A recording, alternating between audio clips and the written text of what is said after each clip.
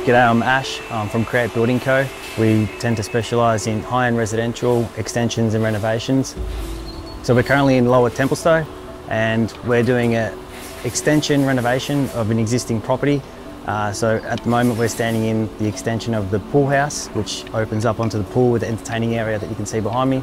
Uh, then we'll follow in complete gut of the, the main house, new master bedroom, ensuite, uh, new kitchen, multiple skylights, uh, and living area to um, enhance their lifestyle and make sure that you know what they want comes to comes to life.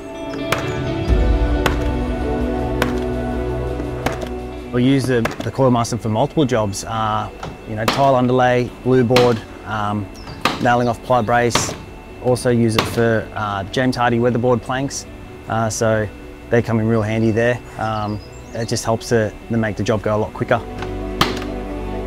We always ran hoses, um, especially throughout my whole apprenticeship. It was always a hose and, uh, and running the air lines out and they're getting tangled and going in the mud and it's just a nightmare to wipe up and clean up at the end of the day. So being able to utilise you know, the Coilmaster where there's none of that and you just hook it on your belt and you, it's there whenever you need it. Like it's just so handy. Uh, it makes it makes building so much easier and you know I think that if they had these tools back in those days they would have appreciated just how much we appreciate it now.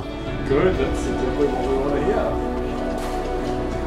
So we've been using the gun for maybe four to five weeks now, uh, and we've, you know, in one instance we've shot a whole box of nails. There's like two to three thousand nails, and we had zero jams. So like it's it works. Like there's no trying to stop and fix the pin. Like you don't need to oil it all the time. Once you, as long as you service it or regularly look after it, I feel that there was no issues with it. We were able to continually use it. It did its job and what we required from the, from the product. Um, and yeah, I think that this one compared to the last one is 100% um, better. You know, we've always used Paslode. Uh, you've got tools like this. It's going to save abundant amount of time doing these um, tasks, especially for your team uh, on site, which is then going to lead to you know more profitability or saving hours and not to mention like the cleanup and all the, the mess you get when you have hoses dragging through the winter mud. So yeah, it, it definitely, it's a time saver. Uh, and like I said, I, I'd recommend them for sure.